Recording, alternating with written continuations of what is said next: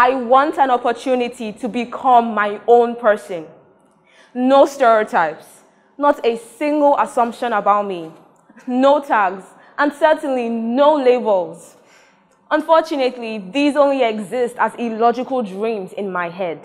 My reality as black and Nigerian is that my dreams might just end up as dreams forever because society has decided to place her false expectations about me right above my head. This is how it has been for so long. The unwritten rule, the stigma against every single Nigerian that they are uneducated, illiterate, fraudsters, and poor. A wise man once said, stereotypes are a bit like air, invisible but always present. There just is no escape route to any of the horrendous stereotypes Nigerians encounter on a daily basis. Imagine if this was how your life was. Even the tiniest detail about you already assumed. So if someone thought you looked like a thief, that would be their only expectation of you. Whenever you walked by, they would treat you like a thief, which you aren't. They would continue repeating the same thing over and over and over, enough to make one actually see themselves as that untrue stereotype. That is plain mean, annoying in fact, because every single day you are judged, but in this case, you're judged not for what you can do, but by what society thinks you should be able to do. Society has snatched from so many Nigerians the opportunity to prove themselves, to earn an income, or to even achieve anything, something at all. The numerous opportunities society has deprived herself of, simply because she created a fantasy, a preconceived notion about Nigerians, and chose to run with it. There are always those awful experiences you hear about others when they encounter these horrific stereotypes. My first experience with being stereotyped happened when I was nine. I was on a family vacation. My siblings, along with my mom and I, decided to explore the places nearby a hotel. So as my mom and I waited at the front of a hotel, awaiting my siblings, we noticed a taxi right in front of us that had a pop tire. So we signaled to the driver, trying to attract his attention towards his pop tire. We were left dumbfounded as he threw at us a tattered $5 bill. And he yelled at our very faces to leave. It felt like I had a knife ripped out of my body. The only thought rushing through my nine year old mind was, what just happened? Did he assume we didn't have any money because we were black? My mind drifted back to the painful experience at the airport. And at that moment, I realized that I had once again been stereotyped. I walked up to the taxi driver and I told him I was only trying to inform him about his pop tire. And I made sure to tell him that I definitely did not need his tattered $5 bill. The guilt on his face was discernible. He knew what he had done, created a preconceived notion about me, and he chose to run with it. Frankly, I think my encounter at the airport 15 hours prior to mixing the taxi driver inspired my courageous attitude. My family and I had just landed in Los Angeles and we had picked up our bags and every other thing we needed. All we had left to do was go past immigration and would finally be able to get our hotel. So we stepped up to the counter and proceeded to hand in our green passports. Instantly, the officer's face turned sour. I was confused. A train of questions followed us.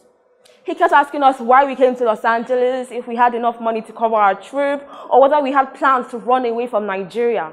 The series of questions all hinted to whether we had plans of running away from home. My nine-year-old me just thought they were doing their job. Only now do I realize that they were not doing their job. Other people of other nationalities were there, but they only chose to search our bags. They only chose to ask us thousands of questions. He pulled us aside and instructed us to wait for him to get back to us. We became the center of attention. Everyone was looking at us and pointing. What had we done to deserve this?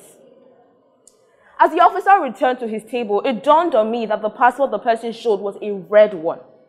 I expected him to start interrogating the man, and I had subconsciously created a spot for me, for the young man to stand, since I already assumed he would be asked to stay by our side. I didn't expect that to happen.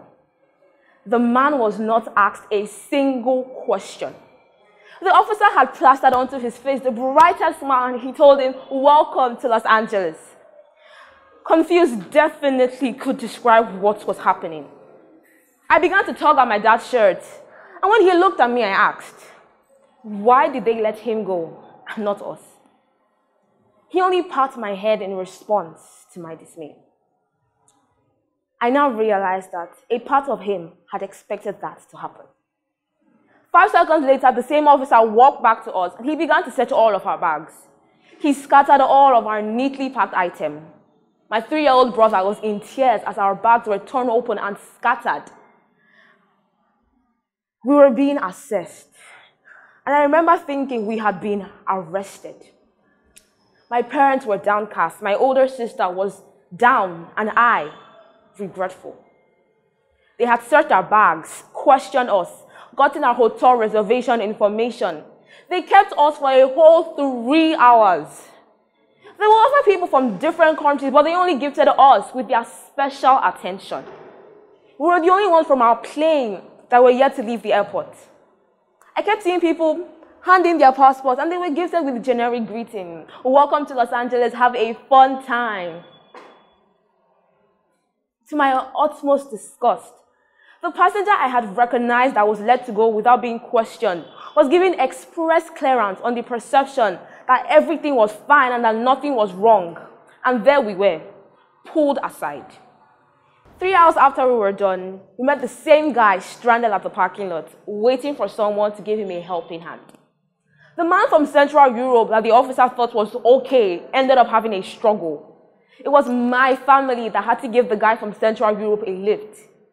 He had no money, and we ended up having to give him a $100 bill so he could feed himself. The person that was supposed to give the young man a ride ended up bailing on him.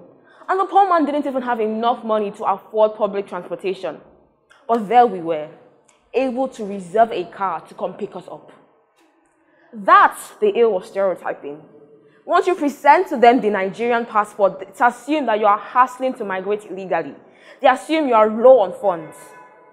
This is my reality. This is also the reality of practically every single Nigerian.